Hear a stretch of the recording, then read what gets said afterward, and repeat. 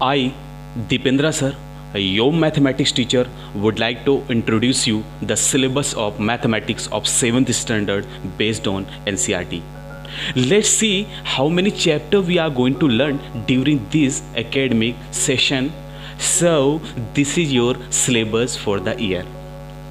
Integers, fractions and decimals, data handling, simple equations, lines and angles, the triangle and its properties, congruence of triangles, comparing quantities, rational numbers, practical geometry, perimeter and area, algebraic expressions, exponents and powers, symmetry, visualizing solid shapes. Now we will see to the bifurcation of these chapters according to these three branches of mathematics algebra, arithmetic, geometry. Algebra carries 13.33 of your syllabus. Arithmetic carries 40% of your syllabus and geometry carries 46.67% of your syllabus. For brief explanation of these three branches, so let's go ahead. Algebra Algebra is a branch of mathematics dealing with symbols and the rules for manipulating those symbols.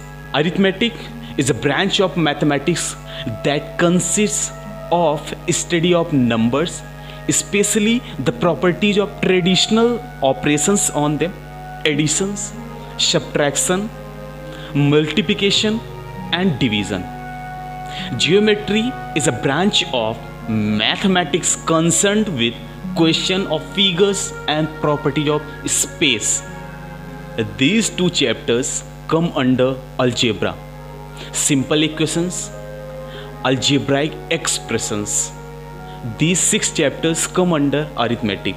Integers, fractions and decimals, data handling, comparing quantities, rational numbers, and the last one is exponents and powers.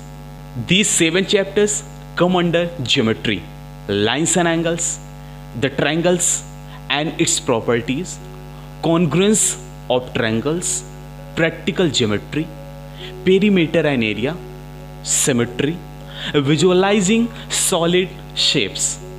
The first topic that we would be starting with will be integers. So, gear up and get started with the flow of academic in this new session 2020-21 all the best